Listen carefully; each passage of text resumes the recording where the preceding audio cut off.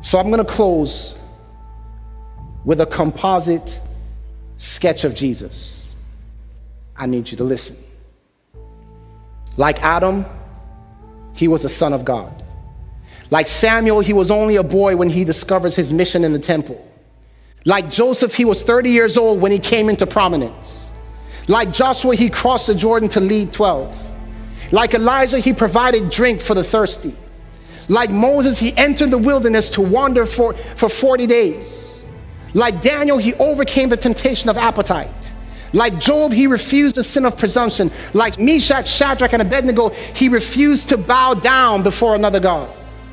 Like the man of God, he healed the withered hand. Like Elijah, he raised the dead and multiplied the bread and helped lepers. Like Ezekiel, he preached to a stubborn and rebellious people and spoke against the abominations being done in the temple. Like Josiah, he exposed false worship. Like Enoch, he walked with God. Like Moses, he knew that his hour had come. He gathered the 12 to repeat the covenant and sang a song before going out to die alone.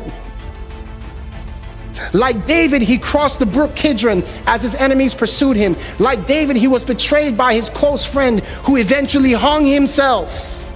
Like Job, he enters into a time of trouble in the Garden of Gethsemane. Like Job, he was tempted to think that God had forsaken him. Like Joseph, he was sold for silver and deserted by his brothers. Like Joseph with the butler and the baker, he was placed between two men, one forgiven, the other rejected. Like Samson, he was beaten, bound, and mocked, placed between two pillars, bowed his head, and pushed. And when he died, there was a great rumbling, and he saved more in his death than when he was alive. Like Isaac, he was given up for a sacrifice. Like Noah, he was lifted up above the earth on wood so that all men would be drawn to him. Like Nehemiah, he would not come down, for he had a great work to do. Like Job, he prayed for his enemies. Like Samson, his death caused a great rumbling in the earth. Like Elisha's dead bones, his death brought to life many who slept in the grave. Like Jonah, he was in the belly of the earth three days and three nights. Like David, he delivered a deadly blow to the head of his enemy.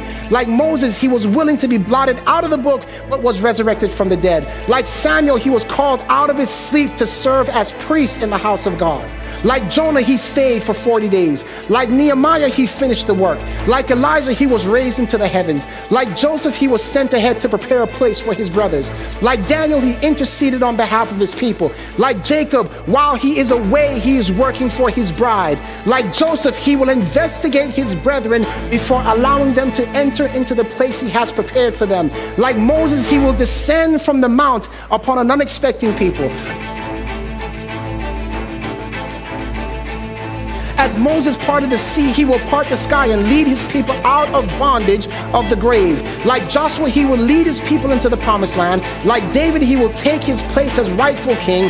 Like Solomon, he will reign in peace, but for a thousand years. Like Solomon, he will answer all of our hard questions. Like Gideon, he will put down the enemies of God at the end of the millennium. Like Jephthah, he will destroy those who cannot speak the heavenly language. Like Abraham, he will be the father of a great multitude. And like Joseph, he will be reunited with his loved ones.